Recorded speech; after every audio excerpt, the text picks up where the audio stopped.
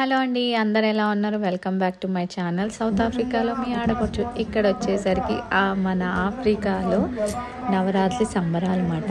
ఇక్కడ ప్రతి సంవత్సరము చక్కగా మన వాళ్ళందరూ కలిసి నవరాత్రులు ఎంతో వైభవంగా ఈ తొమ్మిది రోజులు తొమ్మిది రకాల అమ్మవారి అవతారాలతో పూజిస్తారన్నమాట. సరే అమ్మవారు సాక్షాత్తు అమ్మవారే వెలిసినట్టు నిజంగా ఆ రూపం చూస్తే నిజంగా అమ్మవారు ఉన్నట్టే అనిపించిందండి నాకైతే. ఈ తొమ్మిది రోజులు ఇవాళ ఎనిమిదో రోజు కదా. ఇంకా నవరాత్రులు అయిపో వచ్చేసింది రేపటితో మనకి లాస్ట్ కాబట్టి నేను ఒకసారి అమ్మవారిని దర్శించుకుందామని నేను మా బుడ్డోడు ఇంకా మా పిల్లలు మొత్తం అంతా కలిసి వెళ్ళాము. ఇంకా బుడ్డోడు అంటారా? వాడు అసలు ఒక చోటే ఉండడు అనుకోండి అటు ఇటు తిరిగి నాన్న రచ్చ రచ్చ చేశారనుకోండి. ఇంకా మొత్తానికి కాసేపు పడుకున్నాక ఓ రెండు మూడు గంటలు అలా కూర్చున్నాం. ఇక్కడ వచ్చేసరికి చండి హోమం చేశారండి ఇవాళ. చండి హోమం బాగా చేశారు. నేను మా బుడ్డోని ఎత్తుకొని కూర్చున్నాను. ఎక్కువ వీడియో తీయలేకపోయాను నేను అక్కడ. ఇంకా మన వాళ్ళు ఉన్నారు కదా.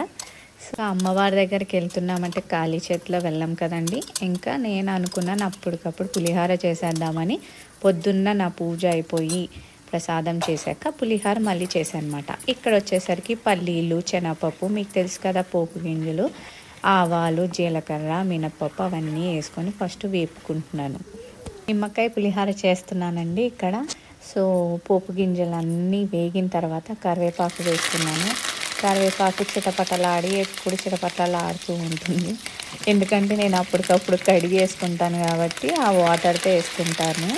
సో అందుకని అది బాగా చిటపటలాడుతుందన్నమాట. సో మామూలుగా అయితే మనం కడిగేసి కాస్త పక్కన పెట్టుకుంటే ఆరాక వేస్తే మనకి నూనె అంత తుల్లదు.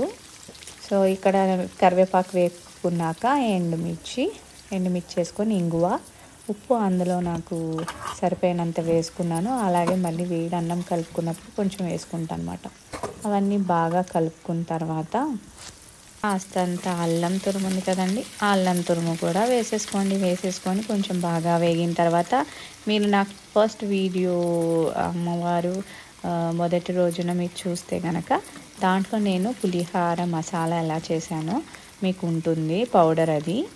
రెసిపీ మీరు వెళ్ళి కావాలంటే ఒకసారి చూడండి. సో ఇక్కడ పసుపు అంతా యాడ్ చేసుకున్న తర్వాత దీంట్లో నేను పౌడర్ చేసి పెట్టుకున్నానండి.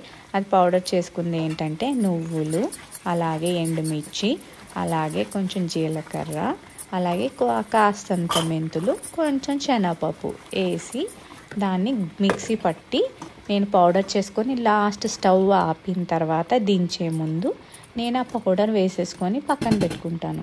ఆ పోపు అయిపోయిందండి. పక్కన పెట్టుకున్న తర్వాత పులిహార రైస్ అంతా అయిపోయిన తర్వాత కాస్తంత ఉప్పు వేసుకొని అలాగే నిమ్మకాయ రసం వేసుకున్నాను అందులో. నిమ్మకాయ రసం నేను ఆల్రెడీ ఒక బాటిల్లో పెట్టుకొని స్టోర్ చేసుకొని ఉన్నారు. సపరేట్గా మనకి నైవేద్యాలకు అని చెప్పి.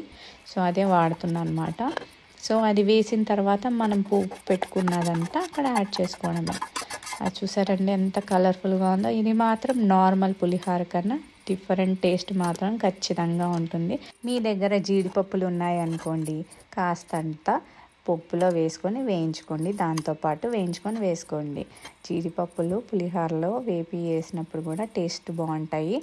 అలాగే నాకు పులిహోరలో చింతపండి పులిహోర అయినా నిమ్మకాయ పులిహోర అయినా మనం వేసే పచ్చిమిర్చి ఉంటుంది కదా ఆ పచ్చిమిర్చి నాకు చాలా ఇష్టం అండి. ఆ పులిహోరలో ఇంకా బాగుంటుంది. ఆ పులుపు దిగి డైరెక్ట్గా కారం ఉన్న అలా తింటుంటే నోట్లో చాలా బాగుంటుంది. ఎంతమందికి అలా పులిహోరలో ఏ పులిహోరలో అన్న చింతపండు అన్న నిమ్మకాయ పులిహోరలో ఆ పచ్చిమిర్చి ఇష్టమో నాకు కమెంట్ బాక్స్లో కమెంట్ చేయండి. నాకైతే బాగా టేస్ట్ నచ్చుతుంది. అది పుల్ల పుల్లగా ఉన్నప్పుడు కాస్తంత ఒక పచ్చిమిర్చి అలా పెట్టుకుంటే నోట్లో దాంతో కాంబినేషన్ తింటే నాకు బాగా నచ్చుద్ది అన్నమాట అలాగే మీలో ఎంతమందికి నచ్చుద్దో నాకు కామెంట్ బాక్స్లో కమెంట్ చేయండి. అలా మొత్తం పులిహోర అంతా కలిపేసుకొని రెడీ పెట్టుకొని తర్వాత చిన్నోడికి స్నానం చేయించి వాడిని రెడీ చేసి తర్వాత పెద్ద అమ్మాయిని చిన్న అమ్మాయిని రెడీ చేసి తర్వాత నేను రెడీ అయ్యి మొత్తానికి కదిలామండి. వెళ్ళి దేవుడి దర్శనం అయితే నాకు బాగా జరిగింది. హోమం అవన్నీ బాగా చేశారు చాలా బాగా చేశారు. టూ త్రీ అవర్స్ పట్టింది. ఇంకా చిన్నోడు ఉండట్లేదని చెప్పి నేను కొంచెం త్వరగానే వచ్చేసాను. అంతేనండి. వేడి వేడి పులిహార మనకి రెడీ అయిపోయింది. నిమ్మకాయ పులిహార చేశాను. కొంచెం త్వరగా అయిపోతుంది కదా. మనకి మళ్ళీ అక్కడ వెళ్ళడానికి కూడా లేట్ అయిపోతుంది అని చెప్పి టక టక టక పులిహార చేసి అమ్మవారికి నైవేద్యం ఇద్దామని చెప్పి నేనైతే ఇలా రెడీ చేసుకున్నాను.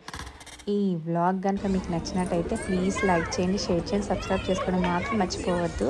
ఇంకా అక్కడ అమ్మవారి దర్శనం చేసుకొని భోజనాలు చేసి వచ్చేసామండి.